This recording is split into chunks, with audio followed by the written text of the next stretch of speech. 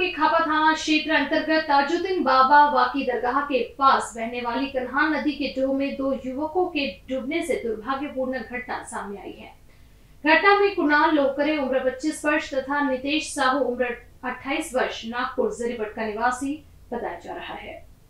जरीपटका में रहने वाले सात से आठ दोस्त वाकी दरगाह में नदी किनारे पार्टी करने गए थे। जब वे पार्टी कर रहे थे, तब कुणाल लोहकरे तैरने के लिए ललचाए और नदी में तैरने चले गए। गहरे पानी में जाने से वे डूबने लगे। उन्हें डूबता देख उसका दूसरा दोस्त नितेश शाहू का उस ओर ध्यान गया और वह उसे अपना हाथ दे बैठा। इसी दौरान दोनों दोस्त एक दूसरे को बचा नहीं पाए और बहाव तथा पानी का अंदाज़ा गहरा नहीं होने के कारण वे दोनों डूबते ही चले गए।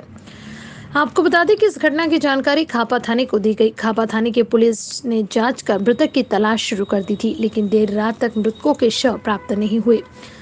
अतः आज सुबह करीब साढ़े नौ बजे एक शव तथा दोपहर दो दो बजे दूसरे शव को गोताखोरों की मदद से बाहर निकला गया। तथा हित ज्योति फाउंडेशन के हितेश बंसोड़ की मदद से ग्रामीण स्वास्थ्य केंद्र सामने रवाना किए जाने की खबर थी। आपको बता दें कि थानेदार अजय मानकर के मार्गदर्शन में सब इंस्पेक्टर ओम काले गुलवार आगे की जाँच कर रही हैं। एनबीसी न्यूज़ के लिए किशोर ढिंडेले की रिपोर्ट।